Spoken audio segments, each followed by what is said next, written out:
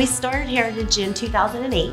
We chose the name Heritage to honor our family history in mining, so both of our grandparents were in mining.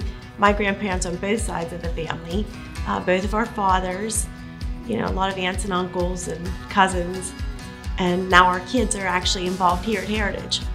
We've been around the coal industry our whole lives, but never took the step to, to do it ourselves. So it was a struggle when we got started. There was a, a lot of ups and downs, but uh, you know we've grown the company and we're, we're real happy how how we've been doing. We're both natives of Somerset County, so it was like coming home to be able to work here. So 2016, we um, bought the Shaw Mine permits and started here and have loved being in Meyersdale. So it's been very important to us to give back to the community and uh, help any way we can.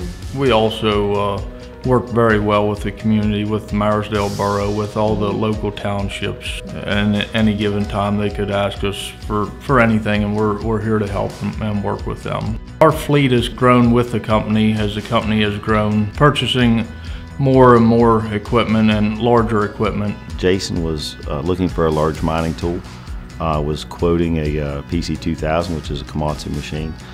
He came to us, uh, Cleveland Brothers, myself, and asked about uh, a comparable model to that.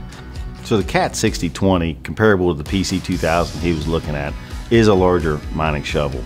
Um, very rare that we would sell one in our territory. Uh, with Heritage Coal growing at the rapid pace that they are, it was a perfect fit for them. Now this year we are opening up uh, some more pits because of the demand is, is out there. The 6020 will be one of the main production machines at, at one of our pits right here at Meyersdale. With the other equipment that Jason has, um, the 6020 is a perfect fit, perfect match for the 777s and some of the 785s that he's still using on site. Swing match with an 18 yard bucket uh, definitely matches with his fleet. And the 6020 is, uh, I was just actually made aware of this morning, is our 50th CAT piece Yeah, that we're running. That we're running right now. So, It's kind of like a good landmark.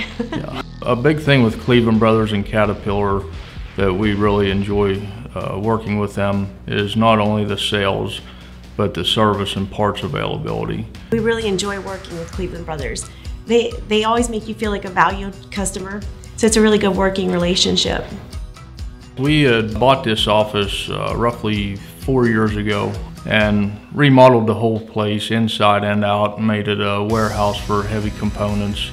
The landscaping out front was something that we uh, came up with that uh, we wanted to incorporate some of the stuff that, uh, that we sell here at this property as far as landscaping. And the other thing that we were going after was uh, the little uh, Caterpillar grader that's sitting on top of the landscaping. It's a little cat grader. It's, uh, I believe it's a 1946. Uh, that was my grandpa's Swanovec coal. And roughly eight to eight, eight or so years ago, that guy had called me and asked me if I wanted to buy the grader that he bought off my grandpa, and I said yes. So we had it all restored, and we figured that was the perfect place for it.